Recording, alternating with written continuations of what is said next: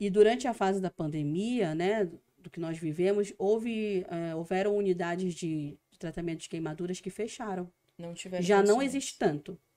Ainda fecharam E ainda alguns. Fecharam. Então, o suporte aqui no Brasil, ele é bem deficitário. Tanto é que a, a SBQ, ela está tentando colocar o tempo todo na mídia informações. Eles têm eventos gratuitos toda quarta-feira de reunião clínica. É muito legal Muito de legal. Assistir. quem puder participar. É, cursos, é, eles, eles lançaram livros para criança agora essa semana. é, De tipo, orientações. de. Orientações. Então, eles estão vindo com uma carga muito grande de mostrar para a sociedade o que é uma queimadura, saber identificar pelo menos o básico. E, e- Enfim, e ele- e eles porque- dão lá como, como prevenir a, Muito. Não. Nós estamos no mês, no junho laranja, né? Que nós Isso, chamamos, que é o mês da queimadura de prevenção.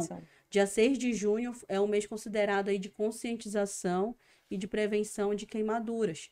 Então, eles já trabalham todos os meses. Esse agora, cada vez mais, né, houve uma intensificação ainda maior de informações. Mas é muito legal. Tem cartilhas, tem gibi da Turma da Mônica, que ele já é antigo. Eles lançaram um, até eu coloquei aqui o livro As Aventuras de uma Pipa Prevenindo Queimaduras. Foi essa semana, se não me engano. Assim, em termos de prevenção e caso, eh, em- caso aconteça, Aconteça, né? caso Então aconteça, também existe essa orientação. Sim, tá? Porque eles falam que prevenir é o melhor remédio. É, mas Não, é sem mesmo. dúvida, para qualquer Edu- situação. É, né? informação é melhor. mas